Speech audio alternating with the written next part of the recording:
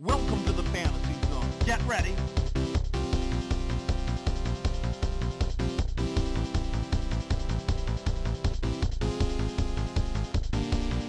はいどうもレトロゲーム大好き阿部知です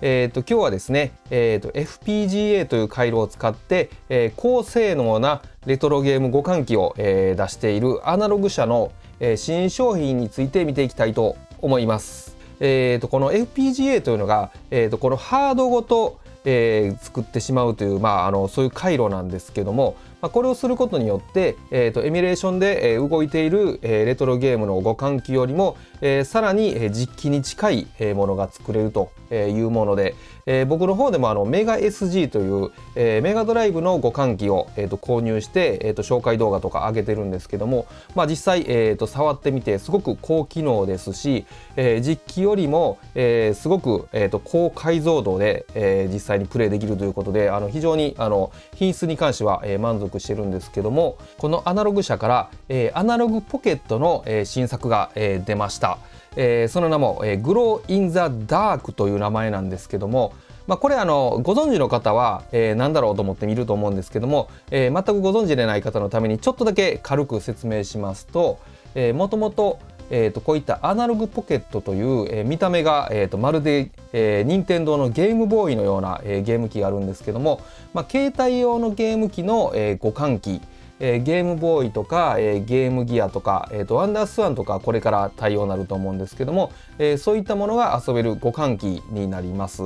で本来は、えー、この本体の方に、えー、そのゲームのソフトを挿して、えー、遊ぶんですけども、えーと、このアナログポケットが侮れないところは、えーと、オープン FPGA という、えー、仕様になってまして、えー、それを使うことによってその先ほど言いました、えーとこの FPGA という回路で作られた、えーまあ、メガドライブを、えー、模したものとかですね、えー、ファミコンを模したものとか、えー、スーパーファミコンを模したもの、えー、こういったものを、えーと、有志の方が、えー、実際開発をされてるんですけども、えー、それを中に入れることによって、えー、実はこのアナログポケットで、えー、ファミコンとかメガドライブとか PC エンジンとかですね、えー、いろんなレトロゲームの、えー、ゲーム機のゲームが実はできるようになるというところが、えー、素晴らしいところです。で実際このハンディでゲームもできますし、え、ドックというものを使うことによって、え、HDMI で、え、こう液晶のモニターとかにも出力することができるというところである意味レトロフリークとか、え、そういったマルチ互換機の対抗馬に、え、なりうる、え、ゲーム機がこのアナログポケットというものになります。で、えーと、こちらの、え、新作が出たというところでそれでさっきの、画面に戻ってくるんですけどもなあの何やらぼやっとして、えー、緑っぽいんですけども、えー、グローインザダークということでちょっとね、えっと、翻訳をかけてみます、えー、アナログポケット暗闇で光る、えー、蓄光プラスチックで製造されています。白熱電球、えー、直射日光またはブラックライトの光で充電します。ライトで充電後8時間発光します。ということですね。はい、えー、数量が非常に限られているため、えー、それぞれ、えー、249.99ドルですということですね。はい。であのまあちょっと値段とかそういうのは後ほどまた見ていきたいんですけども、えー、とどういうものかというと,、えー、とこちらがですね、えー、とこの商品の写真なんですけども、えー、普段はこういうちょっとこう薄緑のような、えー、色をしているんですけどもここにライトオンというところをポチッとするとこんな感じでですね、えー、要は、えー、電気がなくなって暗くなった時に、えー、この本体が、え明るいうちにこう蓄光しているので、え暗くなった時にこうバッと光るというものなんですね。これはまあ非常に画期的というか、えー、この本体が光ることによって、えー、間違ってアナログポケットを踏んづけることもなければ、えー、暗い部屋の中でこの Analogue Pocket を1個置いておくだけで、え明かりの代わりになるという、え素晴らしいゲーム機がこの Analogue Pocket Glow in the Dark というものになります。はい というところで、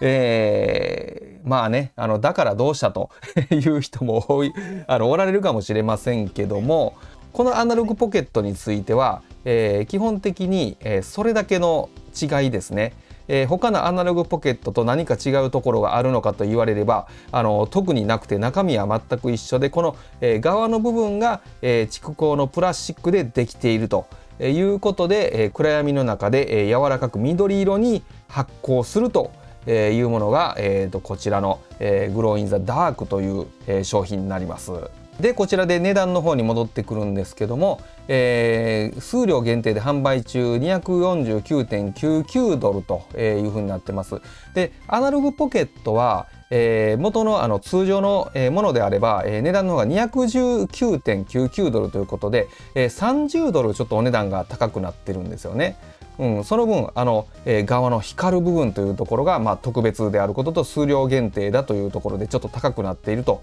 いうものになります。で販売の方が、えーと、9月1日午前8時なんですけどもこちら太平洋夏時間になりますので、えー、実際には、えー、9月1日の、えー、深夜0時まあ、あの言い換えると9月2日の0時というふうにも言えると思うんですけどもちょうどこの、えー、1日と2日が、えー、入れ替わる時間帯、えー、日本であればその時間帯に、えー、予約が開始になるということになります。でこちらのアナログポケットは、えー、通常版はもうすでにソールドアウトしてまして結構その、えー、予約が開始されてもすぐにソールドアウトしてなくなってしまうということでねあの非常にま人気が高いものなんですけどもまあ逆に、えーと、アナログポケット欲しかったけども手に入らなかったという方は、えー、逆にこの、えー、グロインダークの、えー、バージョンを狙うというのもあの値段は高くなってしまうんですけどもねありかなという感じになります。えーと、こんな感じで、えーと、今のところは、えー、9月1日午前8時、に利用か、えー、と実際には、えー、12時ですかね日本だと。うんえー、にここが、えーと、Add to Cart っていう多分ボタンに変わるんだと思うんですよね。うん、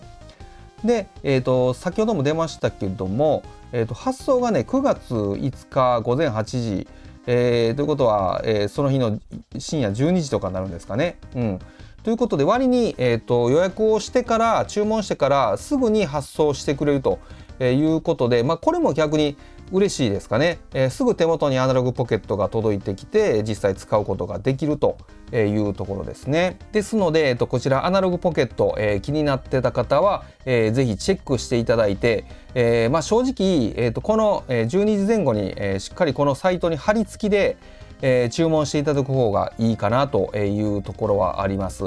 でちなみになんですけど僕はあのメガ SG を買った時に、えーと、JCB のカードがねうまく使えませんでして、えーと、これで、えー、登録してもなんかエラーが出ちゃうんですよね。うん、なのでちょっと JCB のなんかカードは結構海外サイトだとうまくいかないケースが、えーと多いように思うんですけどもうん、できればなんかビザとか、えーと、そういったカードを使って注文した方が確実なんじゃないかなということと,、えーと、場合によってあのブラウザを変えるだけでねあのエラーが出てるのがうまくいったりとかねなんかキャッシュとかの関係なんですかねうん、なんかうまくいかないことが、えー、あるようです。なんかちらほら聞きますんでね、うん、そのあたりちょっと注意かなというところです。でこちらの、えーと、アナログポケットについては、えーと、別の動画を上げてるんで、まあ、詳しくはそちらを見ていただくといいと思うんですけども、まあ、今日もちょっと、えー、軽く見ていくと,、えーとまあ、3.5インチのねえーと、LCD、えー、がついていますということで、まあ、あのこの液晶の美しさに関しては、えーと、間違いないんじゃないかなというふうに思います。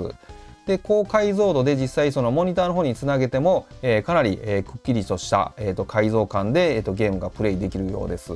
えーと、こういった形で、えー、とアダプターがついてまして多分ゲームボーイとかはそのまま、えー、とソフトが刺さるんだと思うんですけども、えー、それ以外はこういったアダプターを挿す必要があって、えー、ゲームギアネオジオ、えー、ポケットあたりリンクス用の、えーと、カットリッジアダプターが、えー、それぞれありますので、えーと、なんかまとめて売ってたりとか、えーと、単体で、えー、バラバラで買ったりすることができます。で今後多分なんかワンダースワンとか、えー、そういったものも対応するようなのでそういったアダプターも出るのかなというところですね。でこの辺りがね、えー、とどういうターゲットに向けて作ってるのかもさっぱりわからないんですけども、えー、シーケンサーとしてね使えるということでえー、一応あのこちらのねアナログポケットで、えーと、音楽を作ることもできるらしいです。はいこれ本当にどういうターゲットに向けてるのかっていうところなんですけど、まあ、僕みたいに、えー、ゲームも好きだし、えーと、音楽もやってるような人には、えー、使い道があるのかなと思うんですけど、うん、わざわざアナログポケットでやらんでもなっていうのが正直な 感想ですね。そして、えー、と先ほどの HDMI につなぐためには、えー、とこのドックという商品が必要になります。なので、えー、とこれを合わせて、えー、と購入する必要があるということですね。でそれから、えー、とコントローラーも、えー、とワイヤレスコントローラーとかですね、えー、そういったものをサポートしているということでなんかひじきしさんの、えー、動画ではえーと、任天堂スイッチオンライン用の、えーと、スーパーファミコンのコントローラー、えーと、あれがなんか使えたらしいですね。うん、であ有線有線でもいけないですね。有線の USB でも、えー、つなげれるので、えーと、音程持ちのコントローラーを、えー、つなぐことで、えーと、ゲームができる可能性はありますというところですね、えーと、ちなみに先ほどの周辺機器関連が、えー、とアナログドック、えー、これが99.99ドルというところですね、うん、で、えー、とポケットハードケース29.99ドル。えー、とこれはなんか、えー、と液晶に貼るようなプロテクターですかね。あとは、えーと、パワーサプライ、えーと、USB Type-C の、えー、先にこれをつけて、えーと、電源を取るためのものというところですね。あとはポケットアダプターセット、えー、99.99ドル。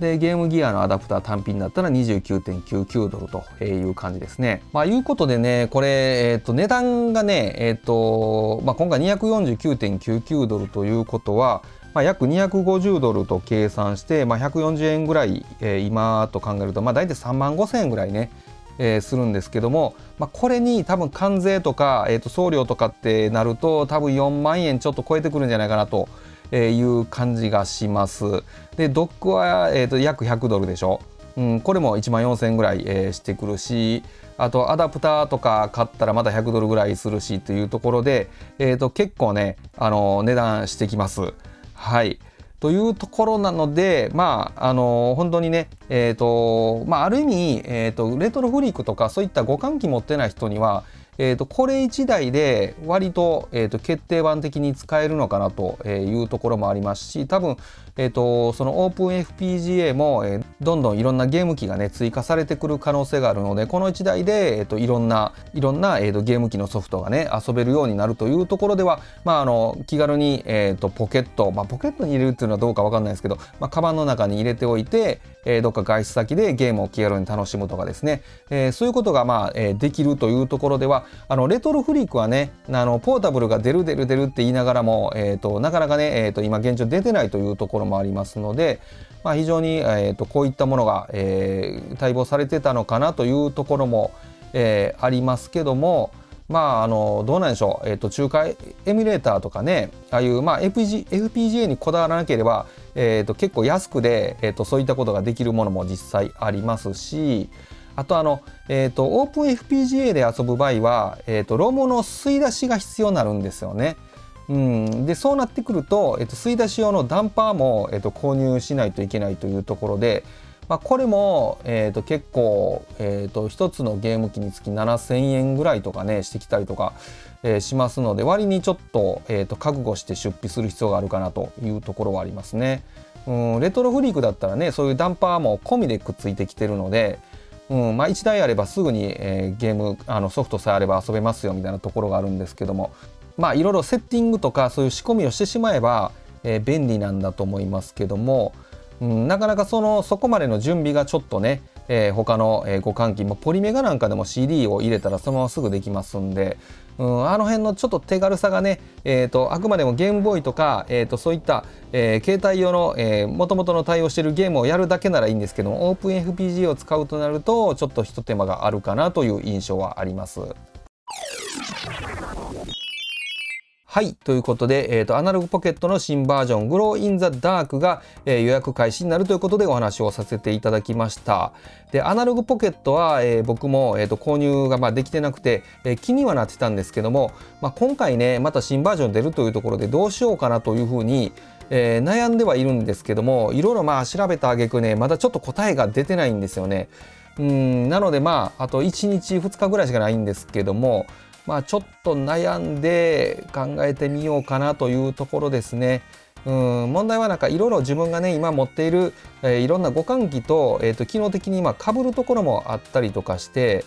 うんなんかどういう目的で使うのかっていうのをちょっといろいろ考えてこのアナログポケットでないと、えー、できないよなっていうところが、えー、結構あるようだったらっていうところでね、いろいろ悩んでおります。えー、皆さんはどうでしょうか、えーと、アナログポケットね興味、えー、終わりでしょうか？すでに、まあ、お持ちの方もいらっしゃると思うんですけどもあのー、まあアナログポケットのね、えー、お持ちの方は、えー、このアナログポケットの、えーと、いいところとか、えーと、教えていただければありがたいですし、えーまあ、興味があるという方はどういうところに興味があるとかね、えー、そういうのも、えーと、教えていただければちょっと僕もね、えー、いろいろ悩んでみようかなというふうに思っております。はい。ではまた次の動画でお会いしましょう。阿部知でした。バイバイ。